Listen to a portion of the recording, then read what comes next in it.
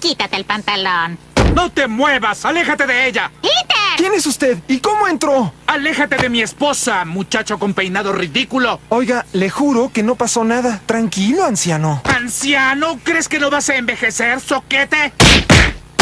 Y Lois, también me tienes harto.